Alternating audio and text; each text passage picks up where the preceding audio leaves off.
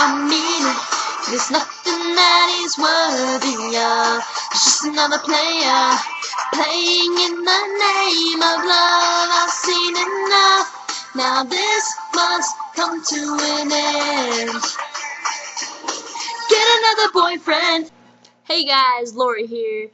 Everybody has those friends, or either that or you are one of those people who gets into a relationship and just can't get out of it.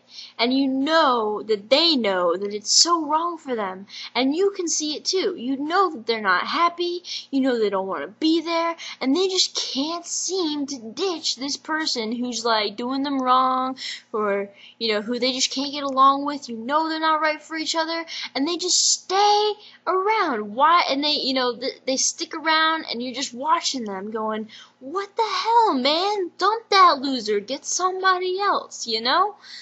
And you know what? You know these people that I'm talking about.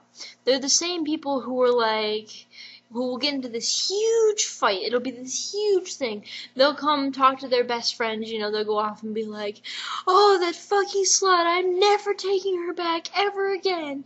And the next day, they're all like, I love you, baby, I'm so so sorry, will you take me back?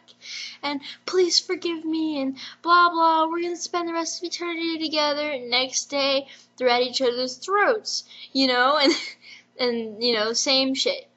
It's just, I'm never taking you back. This time I mean it. This time's for real. And then the next day, I can't live without you, baby. Please, please take me back. I love you. Oh, and it's just like, end it already. Seriously?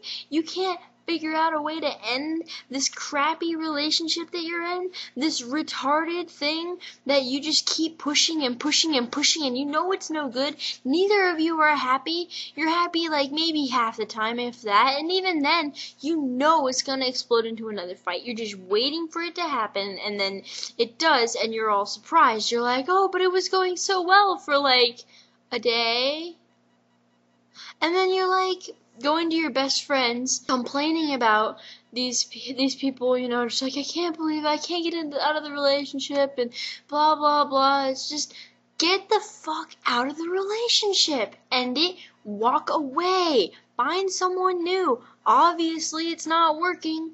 Come on. So I know I'm not the only one who's noticed this. Somebody else out there has had to have experienced this. So send me your feedback. Let me know. Tell me if you've had a situation like this. And yeah, so that's all for this video. Peace.